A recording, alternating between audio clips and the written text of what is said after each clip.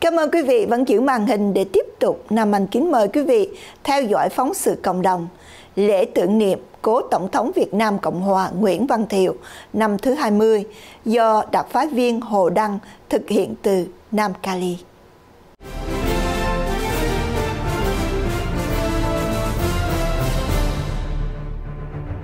Lễ tưởng niệm cố Tổng thống đệ nhị Cộng Hòa Nguyễn Văn Thiệu đã được Liên hội Cựu Chiến sĩ Việt Nam Cộng Hòa tổ chức trang trọng vào trưa Chủ nhật ngày 26 tháng 9 năm 2021 tại hội trường Warner Middle School 14171 Newland Street, Westminster. Bài tường thuật của ký giả Thanh Phong và một số video do phóng viên Hồ Đăng ghi nhận.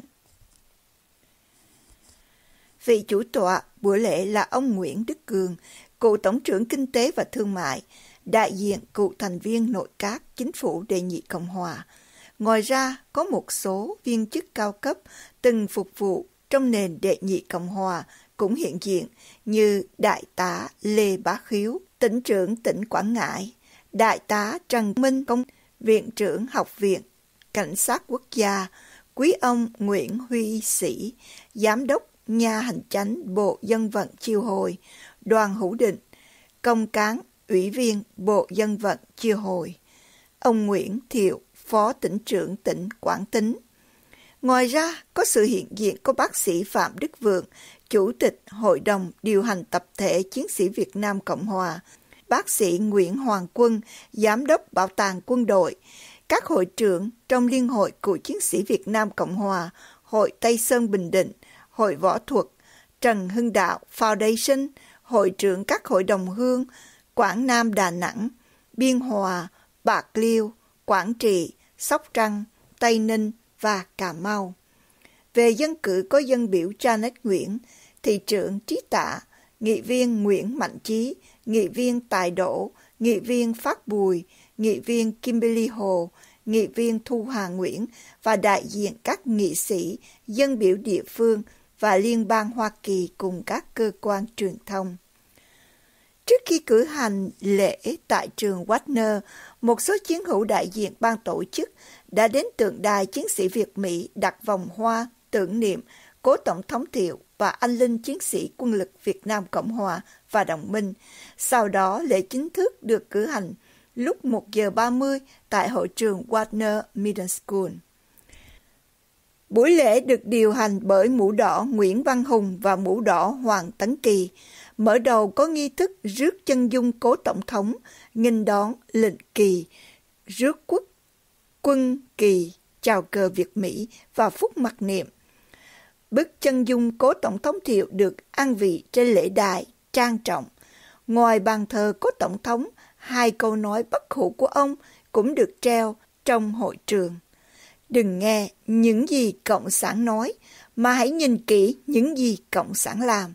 Và đất nước còn, còn tất cả, đất nước mất, mất tất cả. Sau khi MC Nguyễn Văn Hùng giới thiệu quan khách, chiến hữu Tần Nam, Chủ tịch Liên hội Cựu Chiến sĩ, trưởng ban tổ chức, đọc diễn văn khai mạc. Trong phần mở đầu, chiến hữu Tần Nam cho biết, nói về Tổng thống Nguyễn Văn Thiệu sau khi miền Nam Việt Nam rơi vào tay Cộng sản miền Bắc, có khá nhiều tài liệu viết về ông, nhưng hôm nay tôi xin được phép trình bày một phần nhỏ trong trang sử mang những quyết định có tính cách quan trọng trong giai đoạn khó khăn và nghiệt ngã nhất trong khi ông còn ở cương vị tổng thống, đó là Hiệp định Paris. Sau đây, tôi xin đọc nguyên văn cuộc đối thoại đó. Ký vào Hiệp định Paris là ký vào bản án khai tử miền Nam Việt Nam. Và ông lập luận với phái đoàn Mỹ rằng tôi dốc sức bảo vệ từ đầu cho đến khi kết thúc đàm phán. Chính là yêu cầu Hà Nội phải rút quân. Tôi đã tuyên bố rõ với Kissinger là nếu không đạt được điều đó thì không có ký kết. Đó là quan điểm cứng rắn và lập trường rõ ràng của ông khi đàm phán với phái đoàn Mỹ, vì ông hiểu rằng chiến tranh sẽ tiếp tục và không có hòa bình khi Cộng sản không chịu rút quân về bên kia. Sau đó, ông đại sứ Bunker đã trả lời, Vậy thì thưa Tổng thống, lập trường chót của ngài là không ký có phải không? Tổng thống Thiệu đáp, vâng, Đó là lập trường cuối cùng của tôi. Tôi sẽ không ký và tôi xin Ngài thông báo cho Tổng thống Nixon biết như thế. Xin quý vị trở lại Washington và nói với Tổng thống Nixon rằng tôi cần được trả lời. Nhưng cuối cùng, để ép Tổng thống Thiệu ký vào Hiệp định Paris, Tổng thống Nixon nói rằng ông không ký là cố tình cắt đứt liên lạc giữa Việt Nam Cộng Hòa và Mỹ. Kể đến ông Nguyễn Xuân Tám, sĩ quan cận vệ của Tổng thống Thiệu, tuyên đọc tiểu sử cố Tổng thống Nguyễn Văn Thiệu.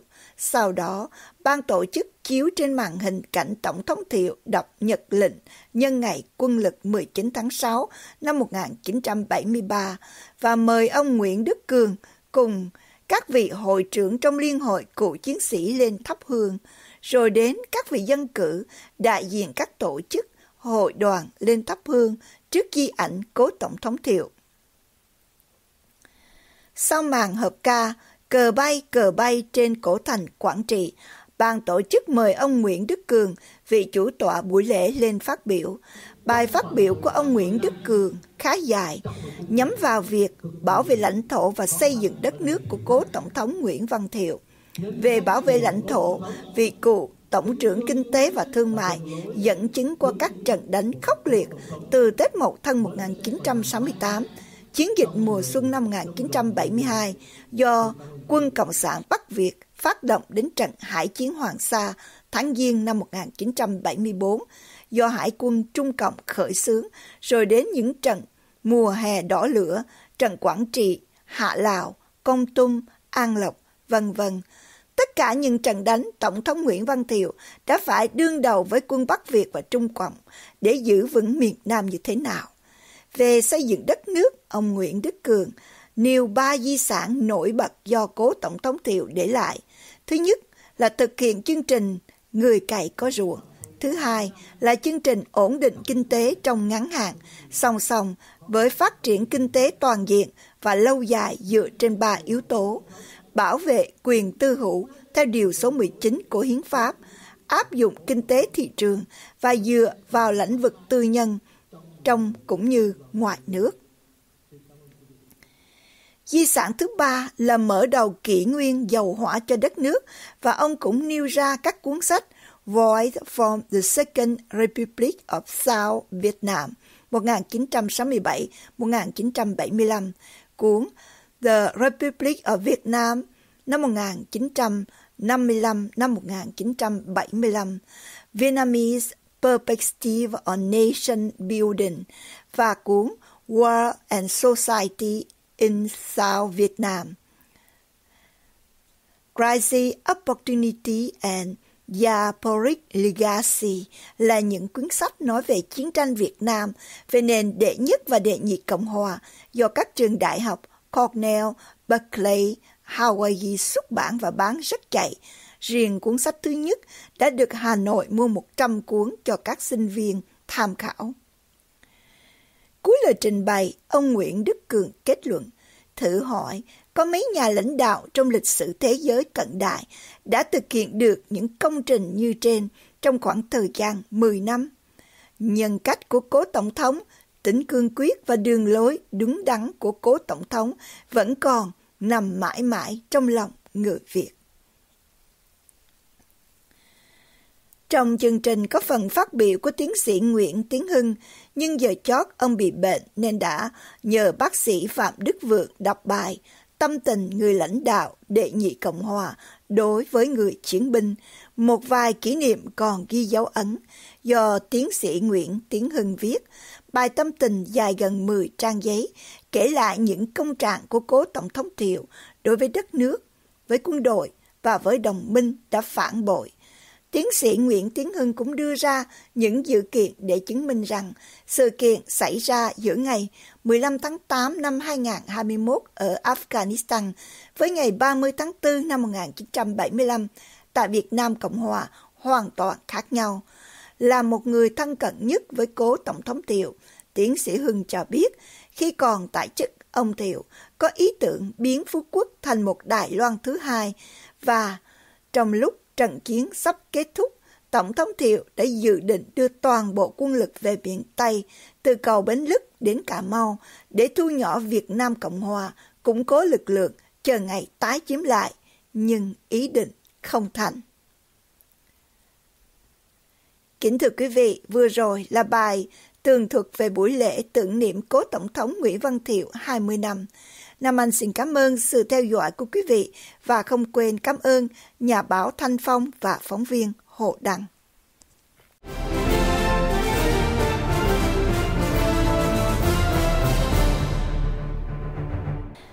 Kính thưa quý vị, bản tin Hoa Tịnh Đốn tối nay đến đây là chấm dứt. Mọi liên lạc hay đóng góp ý kiến về ban biên tập SBTN-DC xin email về washingtondc at sbtn.tv. Nam Anh kính chúc quý vị có một buổi tối an vui và hạnh phúc bên người thân và gia đình. Nam Anh kính chào và hẹn gặp lại quý vị vào kỳ tới.